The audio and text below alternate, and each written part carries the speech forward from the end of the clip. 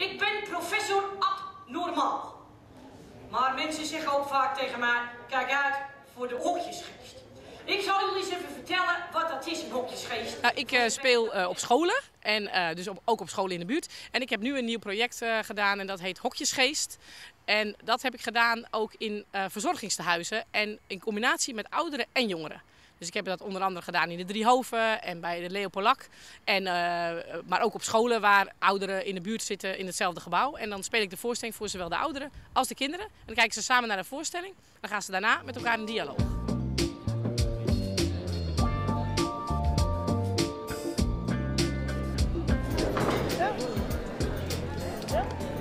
Ik ben in eerste instantie uitgenodigd voor uh, de tafel van 100 om met 100 mensen te gaan eten en ondertussen te praten over de toekomst van West. En daar kwam later nog een vervolgbijeenkomst uh, op.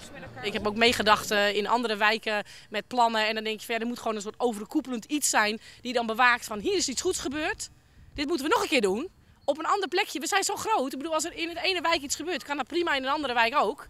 En waarom gaat er dan weer iemand iets nieuws bedenken? En dan krijg je wel geld en subsidie voor iets nieuws. Maar als je met hetzelfde plan komt van dit was een succes, dan krijg je geen geld ervoor, want ja, het is al gedaan. En aan de ene kant zijn er dan weinig mensen die wat mogen zeggen is ook niet goed. Dus je wilt wel dat er veel mensen zijn, maar ja, het blijft, blijft ingewikkeld.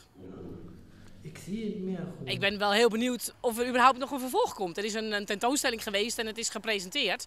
Maar ja, daar moeten mensen mee aan de slag. Het is natuurlijk niet zo dat het was leuke, leuke ideeën moeten blijven. En dat het goed geweest is van ja, de gemeente en het stadsdeel dat ze naar ons geluisterd hebben. Ik bedoel, dus je zou nu eigenlijk willen dat ze doorpakken. En ja, ik, ik moet eerlijk zeggen dat ik geen idee heb of dat überhaupt gaat gebeuren.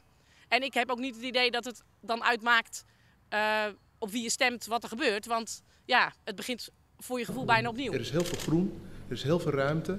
Er is een goede connectie met, uh, tussen, tussen West en Schiphol. En... Elke keer als je weer iets verandert aan een structuur die in ieder geval functioneert, dan is dat zonde. Want dat kost alleen maar tijd en energie en gedoe.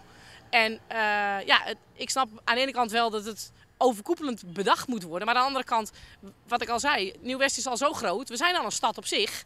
En ja, natuurlijk zijn we Amsterdam. Maar we, ja, ik heb eerder het idee van, uh, regel het maar wat kleiner. Dan heb je eerder resultaat. En ik denk dat het goed is als ze daar gebruik van maken. En dat ze dan kijken van, hé, hey, iets is goed. En dat gaan we tien keer doen. In plaats van, we gaan tien keer iets nieuws doen. Ik zou het buitengewoon jammer vinden als dit plaatje op deze manier naar buiten zou komen. Als je dan een buurtinitiatief hebt, dat wilden ze heel graag en dat vind ik ook heel interessant en daar ben ik ook wel mee bezig. Maar het blijft dan ook vaak zo klein en dan denk ik dat is zo jammer. En ook daarbinnen worden er leuke dingen bedacht waarvan ik denk, zet dat ergens neer. Waardoor een andere buurt kan denken, hé, hey, dat is een leuk plan. Zo iemand kan zijn verhaal vertellen, kan je bij wijze van spreken inhuren om het nog een keer te doen. En dan is iedereen blij. In plaats van dat elk buurtje opnieuw kijkt van, oh, wij willen ook een klimrek. Of oh, wij willen ook een feest. Of wij willen ook iets ja, cultureels of iets belangrijks in onze buurt. Dus dat zou mooi zijn als dat ja, gecoördineerd kon worden of zo. Als ondernemer zijn er, uh, ja, het is even zoeken geweest. Ik was ook niet zo daarmee bezig en nu wel. Dat er eigenlijk best wel veel gebeurt voor, voor starters, voor, voor gevestigde ondernemers. Dat we elkaar proberen te bundelen. We hebben nu uh, bedrijvige vrouwen Nieuw-West uh, is er.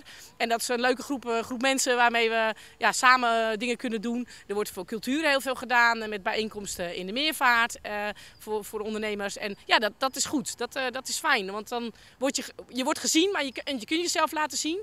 En dan wordt er ook met mensen uit de buurt gewerkt. En dat vind ik, vind ik heel belangrijk.